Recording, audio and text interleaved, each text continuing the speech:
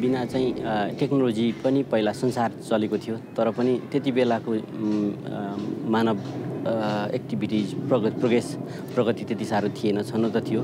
तर जति पनि टेक्नोलोजीहरू अहिले जति पनि देखा परेको छ त्यो टेक्नोलोजीले वास्तवमा मान्छेको विकासलाई मान्छेले गरेको कामहरूलाई चाहिँ काम इफोर्टहरूलाई एकदमै मल्टिपल गर्दै ल्याएको छ। त्यसले गर्दाखेरि ठुलो चाहिँ विकास हुनुमा सहयोग गरेको छ। त्यसले गर्दा म पनि टेक्नोलोजीलाई अति धेरै मान्दछु।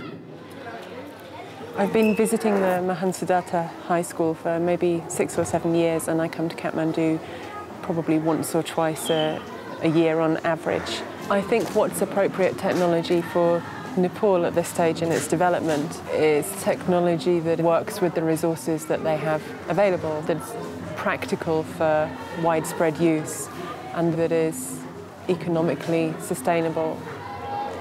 Although they have the computers and quite recently they've had access to the internet at a, a, usable speed, given the content that's on the internet is generally written for people who have fast broadband.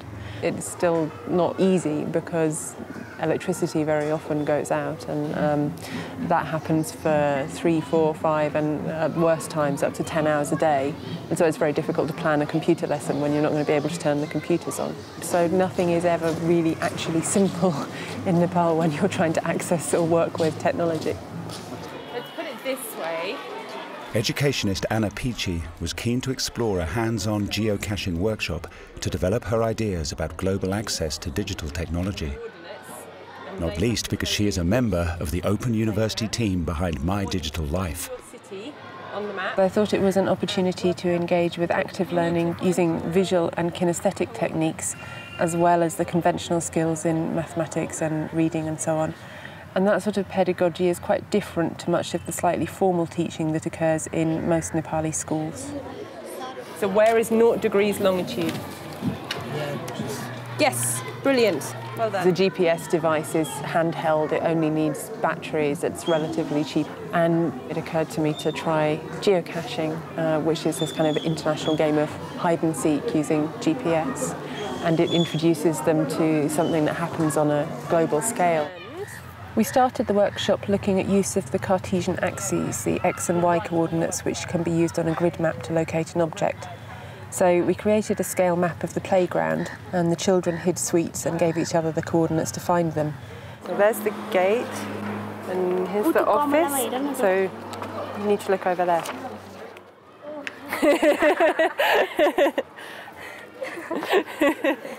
okay, go on then.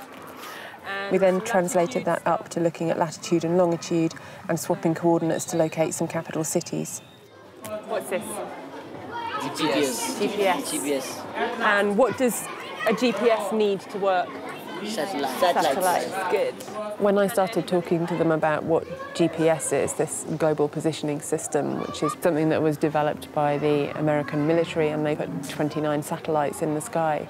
How many satellites does this need to be able to see in about order to work? Three, about three. Three or more. Yes, excellent. So that's getting them to think about satellites and, and technology that's right out there in space, and I think that was quite an exciting aspect of the workshop. On the first day of the workshop, Anna explored mapping coordinates and the use of GPS equipment. Earlier, she had hidden an object near the Pashupatinath temple, a short walk from the school. This was to be the real test of the students' GPS skills. Okay, so we're going this way, but the arrow says we need to go that way. Yeah. So as soon as we get to somewhere that we can turn around, we need to move that way. Understand? The Mahan Siddhartha High School is situated between the two World Heritage Sites of the Hindu Pashupatinath Temple and the Baudhanath Buddhist Stupa, both close to the school. When you get to the point where the arrow keeps going round and you're walking in a little circle, like you've been doing, you know you're kind of here. So now is maybe the time to put this down and look at what your clue was. So what was the clue? The prize is planted in blue. The prize is planted in blue. also one of the school advisory member. Catch box or Geocache box. Yes. Hooray!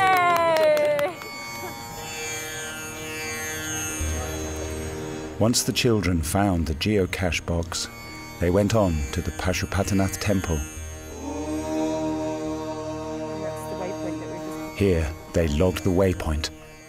So it says we're now 160 metres from where we were before, and this is the location we're at now. And what we want to do is store that, so we want to mark it.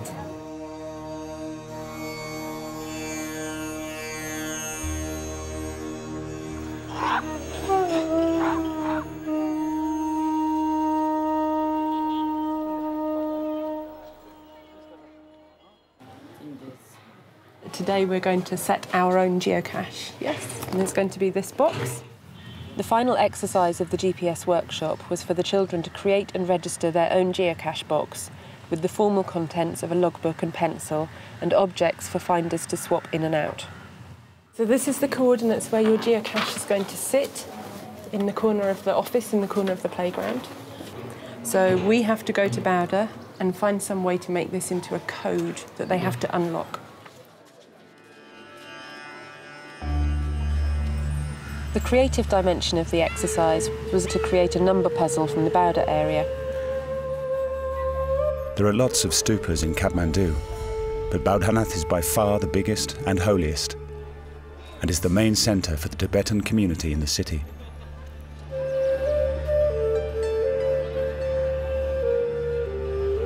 The Badnath Stupa is rich with imagery and provides lots of number opportunities from which the geocacher has to extract our clues. For example, the structure has 13 steps and rings reaching towards the higher levels of enlightenment, three platforms at its base, five colours in the prayer flags, and so on. Many visitors to Kathmandu come to Boudha, so using it as the starting point for our geocache is a nice opportunity to encourage people to look a little bit deeper and perhaps think a bit more about what the Buddhist imagery represents.